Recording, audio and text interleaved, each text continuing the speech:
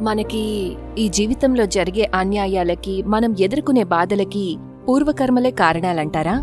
మీకు అంతా సరిగ్గా జరిగే జీవితం కావాలా? లేదా అద్భుతమైన జీవితం కావాలా? మీరు అది నిర్ణయించుకోవాలి. భౌతిక పరంగా ఇంకా లోతుగాను ఇది ఎలా పనిచేస్తుందో ఈ విషయాలను బాగా గమనించారు. మీలో ఇద్దరున్నారా లేదా ఒక్కరే ఉన్నారా? కాబట్టి ఇది చాలా ముఖ్యం. ముందు అందరూ దీన్ని సరి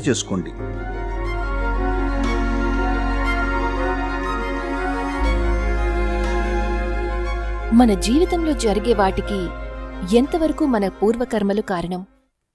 మనకి ఈ జీవితంలో జరిగే అన్యాయాలకి మనం ఎదుర్కొనే బాధలకి పూర్వకర్మలే కారణాలంటారా? అలాగైతే వాటిని అలాగే ఒప్పుకొని సరే పర్వాలేదు అని అనుకుంటూ ఓకే ఆ కర్మ తొలగిపోతుంది అని మన జీవితానికి హాని కలిగిస్తుందని తెలిసి కూడా అలా అనుకోవచ్చా? సమంత మీకు ఇంత వయసు వచ్చాక అర్థమైపోయి ఉండాలి కదా? అంటే మీకు వయసు అయిపోయిందని అనడం లేదు. మీకు ఇది అర్థం చేసుకునేంత వయసు ఉందంటున్నాను. ఇప్పుడు కూడా ప్రపంచం మీతో నిష్పక్షపాతంగా ఉంటుందని మీరు అనుకుంటున్నారా? అందుకే ఈ ప్రశ్నను అడుగుతున్నాను.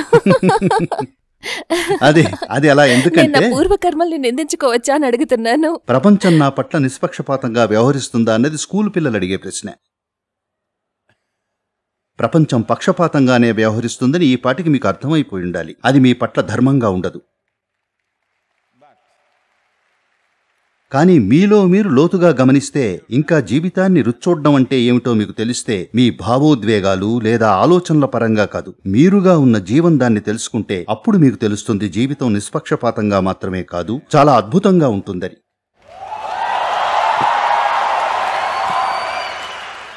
కాబట్టి మీకు నిష్పక్షపాతంగా జరిగే జీవితం కావాలా లేదా అద్భుతమైన జీవితం కావాలా? ముందు మీరది నిర్ణయించుకోవాలి. నేనేం గమనించానంటే ప్రాపంచికపరమైన అహం మాత్రమే కాకుండా ఈ మధ్య బాగా వ్యాపిస్తున్న ఈ అహం అంటే ఎవరు? మీ మిత్రుడా? అది నా చుట్టూ ఉంది. పైగా నేను పనిచేసే ఇండస్ట్రీలో అయితే ఇంకా చాలా ఎక్కువ అయితే ప్రాపంచికపరమైన అహం మాత్రమే కాకుండా నేను గమనించింది ఈ మధ్య చాలా మందిలో ఆధ్యాత్మికపరమైన అహం. ఈ మధ్య నేను చాలా మందిని కలిశాను వాళ్ళు ఆధ్యాత్మిక మార్గంలో. మీరు కాదు సద్గురు. కొంతమంది తమని ఆధ్యాత్మిక మార్గంలో లేని వారితో పోల్చుకుంటూ తాము గొప్పోళ్ళమని అనుకుంటూ ఉంటారు. అలాంటి వాళ్ళకు ఈ ఉచ్చులో పడకుండా ఉండేందుకు ఎలాంటి జాగ్రత్తలు తీసుకోవాలో ఇప్పుడు మీరు కాస్త చెప్తారా సద్గురు? మనం ముందు ఈ అహంగారి గురించి మాట్లాడదాం. ఓకే. మీరది ఎక్కడుందో నాకు చూపిస్తే నేను ఇప్పుడే దాన్ని సరిచేస్తాను. అది ఎక్కడుందో నాకు తెలిస్తే బాగుండేది కానీ అది ఉన్నట్టుండి వస్తుంది. అయితే అది ఎక్కడుందో మీకు తెలీదు. అసలు విషయం ఏమిటంటే చూడండి కొన్నిసార్లు ఒక వ్యక్తిగా ఒక మహిళగా మీరు అందంగా ఉంటారు అద్భుతంగా ఉంటారు. అంటే నన్ను క్షమించండి. నేను మీరు కొన్నిసార్లు మాత్రమే అందంగా ఉంటారని చెప్పట్లేదు. మీరు ఎప్పుడూ అందంగానే ఉంటారు. కానీ కొన్నిసార్లు మీరు అద్భుతమైన వ్యక్తిగా ఉంటారు. అవునా కదా? కొన్నిసార్లు మీరు చికాగ్గా ఉండొచ్చు. అలా జరుగుతుందా? అలా జరుగుతుంది. అయితే మీరు చికాగ్గా ఉన్నప్పుడు అది నా ఇగో అనుకుంటారెందుకని? మీరు నేను కొన్నిసార్లు అద్భుతంగా ఉంటాను కొన్నిసార్లు చికాక్గా ఉంటాను అని ఎందుకు చెప్పలేరు? ఇది మీరు అర్థం చేసుకుంటే మీలో చికాకు దానంతట అదే సహజంగానే తగ్గిపోతుంది. కానీ మీరు చెడ్డగా ఉన్నప్పుడు ఇది మిస్టర్ ఈగో పని అంటే ఎలా? పైగా ఆయన ఎక్కడున్నాడో కూడా మీకు తెలియదు ఆయన చిరునామా తెలియదు లేదా ఐడి తెలియదు లేదా ఫోన్ నంబర్ తెలియదు మరి ఆయన్ని సరిచేయడం ఎలా? కాబట్టి అందరి జీవితంలో ఇలా జరుగుతూనే ఉంది. ఎందుకంటే వాళ్ళు ఆధ్యాత్మికతలో ఉండకుండా ఆధ్యాత్మికత గురించి మాట్లాడుతూ ఉంటారు. ఇది చాలా చోట్లుంది. ప్రత్యేకంగా భారతదేశంలో. ఎందుకంటే మనకు పదిహేను ఇరవై వేల ఏండ్ల ఆధ్యాత్మిక చరిత్ర ఉంది. మనకి అన్ని పదాలు తెలుసు. మనకు ఆత్మ పరమాత్మ ఇది అది అహంకారం అన్నీ తెలుసు. ఉత్త పదాలే. ఉత్త పదాలే ఉత్త పదాలే. అర్థమైంది. అయితే అలాంటి పదాలతో పాశ్చాత్య ప్రజలను కొంచెం గజిబిజి చేయొచ్చు. ఎందుకంటే మీరు ఇక్కడికి వస్తే వాళ్ళు ముక్తి శక్తి అది ఇది అని అన్ని రకరకాల మాటలు మాట్లాడతారు. నాకు తెలిసిన చాలా మంది పశ్చిమ దేశాలకు వెళ్ళి స్పిరిచువల్ సెంటర్లను స్థాపించారు. ప్రత్యేకంగా అమెరికాలో. ఎందుకంటే వాళ్ళకి తెలిసిందల్లా ఒకే ఒక్క మంత్రం. ఒక మంత్రం మాత్రమే అంతే. అసతోమా సద్గమయ దీంతో వాళ్ళు మొత్తం వ్యవహారం నడుపుతున్నారు. కాబట్టి దురదృష్టవశాత్తు ఆధ్యాత్మికత కొన్ని కొన్ని విధాలుగా ఆ స్థితికి చేరుకుంది. ఆ స్థితికి వెళ్ళడానికి కారణం అక్కడ దీని అవసరం ఉంది. కానీ అక్కడ తెలిసిన వారు లేరు. అందువల్ల ప్రజలు ఇటువంటివి ప్రచారం చేస్తున్నారు. కొన్నేళ్ళ క్రితం ఇలా జరిగింది. అంటే ఒక పదిహేను పదహారేళ్ళ క్రితం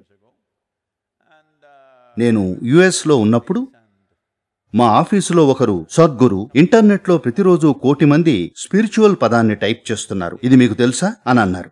100,000 people are typing out the word spiritual. అప్పుడు నేను ఓ అవునా? ఒకసారి టైప్ చేసి చూడండి ఏం వస్తుందో. అసలు మనం ఉన్నామా లేమా? వాళ్ళు స్పిరిచువాలిటీ అని టైప్ చేసినప్పుడు మొదట వచ్చింది ఏమిటంటే మెక్సికోలో ఒక స్పా. మీరు అక్కడికి వెళ్ళారా? లేదు లేదు నేను వెళ్ళలేదు. దాని తర్వాత వచ్చేది నార్త్ కాలిఫోర్నియాలో ఒక కాల్ గర్ల్. ఇంటర్నెట్ సెర్చ్ను ఎలా వాడుకోవాలో ఆమె బాగా నేర్చుకుంది. ప్రతిదానికి స్పిరిచువల్ స్పిరిచువల్ స్పిరిచువల్ అని చెప్పి నూట ఎనిమిది సార్లు తన వెబ్సైట్లో వాడుకుంది. అందుకే స్పిరిచువల్ అని కొడితే ఆవిడ కనిపిస్తుంది రెండో స్థానంలో. నాకు చాలా సిగ్గనిపించింది. ఎన్నో వేల ఏళ్ళ నుండి ఆధ్యాత్మికత అంటే ప్రజలు తూర్పు వైపు చూసేవారు. తూర్పు అంటేనే భారతదేశం. నా ఉద్దేశం అది. అందుకనే నేనేం చెప్పానంటే మనం ఏదో ఒకటి మొదలు పెట్టాలి. ఒక ఒక ఆధ్యాత్మికతను పొందటానికి ఎప్పుడైనా ప్రజలు ఆధ్యాత్మికతను తెలుసుకోవాలి అనుకుంటే వాళ్ళు భారతదేశం వైపు చూడాలి. ఈ సంప్రదాయం మాత్రమే మానవ చైతన్యం గురించి తెలుసుకోవడానికి చాలా ఎక్కువ సమయం వెచ్చించింది.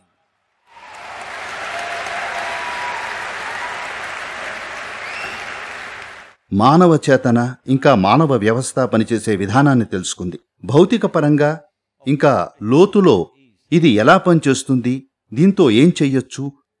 ఈ విషయాలను బాగా గమనించారు. నేను భారతీయుణ్ణి కాబట్టి ఇలా అనడం లేదు. ఈ ప్రపంచాన్ని బాగా గమనించి చెప్తున్నాను. అసలు వేరెక్కడా కూడా ఈ విషయాల్ని ఇంత బాగా గమనించలేదు. That nowhere else has it been looked at like this కాబట్టి నేను ఆధ్యాత్మికతను పొందటానికి భారతదేశంలో ఒక ముఖద్వారం లాంటిది మొదలు పెట్టాలన్నాను. మీకు ఈ విషయం నేను చెప్పాలి. దాదాపు పదిహేనేళ్ళ క్రితం వరకు నేను ఈ దేశంలో ఒక్క గురువును కూడా కలవలేదు. నేను అసలు కలవనే లేదు. ఎందుకంటే నేను నా పనిలోనే బిజీగా ఉండేవాణ్ణి. నాకు ఎక్కడికైనా వెళ్ళి ఎవరినైనా కలవాలన్న ఆలోచనే రాలేదు. అసలు ఏ ఇతర ఆశ్రమానికి వెళ్ళలేదు. అప్పుడు నేను కొంచెం ఆలోచించి సరే ఓసారి మాట్లాడి చూద్దాం అని ఫోన్ కాల్స్ చేశాను. వాళ్ళు నాతో ఫోన్లో బాగానే మాట్లాడారు. ఇంకా కొంతమందిని కలిశాను. ఇంకా కలవడానికి కొన్ని పనులు చేశాను. నూట పాతిక మంది గురువులతో మేము ఓ మీటింగ్ పెట్టాం. ఎవరూ తమ సిద్ధాంతాల గురించి మాట్లాడొద్దని వాళ్ళని వేడుకున్నాం. మీ సిద్ధాంతాలు మీ దగ్గరే ఉంచుకోండి. ఇది ఒక మీటింగ్ మాత్రమే. ఇది మీ యోగా సెంటర్ లేదా ఆశ్రమం ఏదైనా కావచ్చు. దాన్ని ఎలా మెరుగుపరచాలో దాని గురించే ఈ మీటింగ్. మేము మీకు మేనేజ్మెంట్ నేర్పుతాం. ప్రచారం ఎలా చేయాలో నేర్పుతాం. ఒక వెబ్సైట్ ఎలా తయారు చేసుకోవాలో నేర్పుతాం. విదేశీ ప్రజలకు మీ గురించి ఎలా ప్రచారం చేయాలో నేర్పుతాం. మీ సిద్ధాంతాల జోలికి మేము రాం. మా సిద్ధాంతాల గురించి అడగద్దు. మీరు మీ పని చేసుకోండి అని చెప్పాను. ఎందుకంటే ఈ సంప్రదాయంలో ఉన్న అందమే అది. ఏదైనా వంద రకాలుగా వేల రకాలుగా ఉండొచ్చు. అయినప్పటికీ మాకేం పర్వాలేదు. అయితే ఇలా నేను ఇవన్నీ చేస్తుండగా నేను ఎంతో అద్భుతమైన వ్యక్తుల్ని కలిశాను. కానీ అదే సమయంలో కనీసం అరవై నుండి అరవై ఐదు శాతం ఇది చెప్పడానికి బాధగా ఉంది. ఈ స్పిరిచువల్ సెంటర్ వాళ్ళ కంటే నేను ఎయిర్పోర్ట్ లేదా గోల్ఫ్ కోర్సులో మంచి వ్యక్తుల్ని కలిశాను.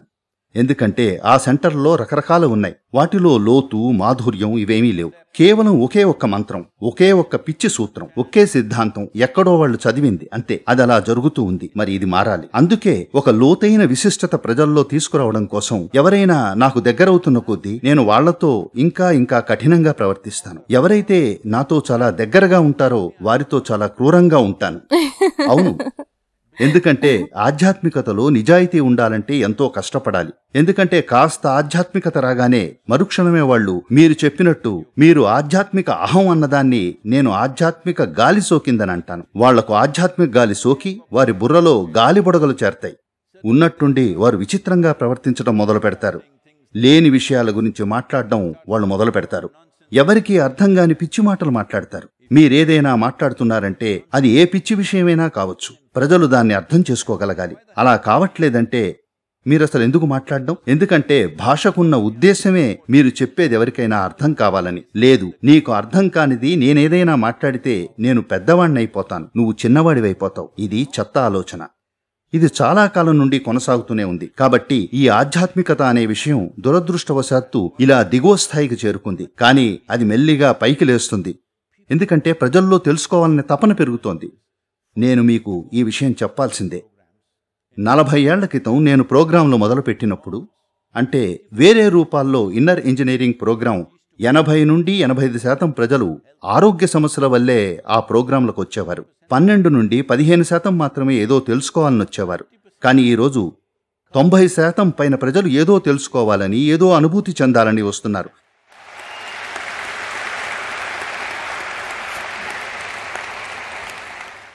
కేవలం ఎనిమిది నుండి పది శాతం ఆరోగ్య సమస్యల వల్ల వస్తున్నారు. ఇది మానవ చైతన్యంలో పెద్ద మార్పు. ఇంకా ఈ ఇగో సంగతికొస్తే ముందు దీన్ని సరిచేసుకోవాలి. చూడండి మీలో ఇద్దరున్నారా లేదా ఒకరే ఉన్నారా? ఒక్కరే అనుకుంటున్నాను. ఒక్కరని అనుకుంటున్నారా? ఒక్కరే అని నా అభిప్రాయం. ఒకరేనా దానికి అర్థం మీరు ఒక వ్యక్తి అన్నమాట. ఇక మీరు ఇప్పుడు ఒకటిగా ఉన్నారు. అంటే మిమ్మల్ని ఇంకా విడదీయడం కుదరదు. అదే మంచిది. మీరు ఒకే వ్యక్తిగా ఉండటం. మీలో కనుక ఇద్దరుంటే అప్పుడు మీకు పిచ్చి పట్టింది లేదా దయ్యం పట్టింది అని అర్థం. డాక్టర్ లేదా భూత వైద్యుడు. ఒక డాక్టర్ అయినా రావాలి లేదా ఒక భూత వైద్యుడైనా రావాలి. అందుకే ఇది చాలా ముఖ్యం. ముందు ఇది అర్థం చేసుకోండి. ఊరికే ఆత్మ పరమాత్మ అహంకారం అది ఇది అని మాట్లాడకండి. మీరు ఒకే వ్యక్తి. మీరు ఎలాంటివారు? మీరు అద్భుతమైన వ్యక్త లేదా చిరాకైన వ్యక్త? ముందు దీన్ని సరిదిద్దుకోండి.